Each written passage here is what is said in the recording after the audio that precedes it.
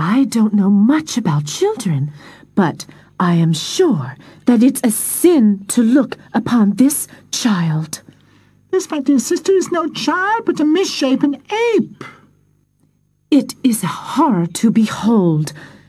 It can't be Christian.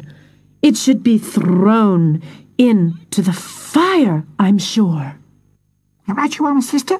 It belongs in a great big fire. What are you so excited about? Make way. Hmm, I think I'll adopt it and take it with me.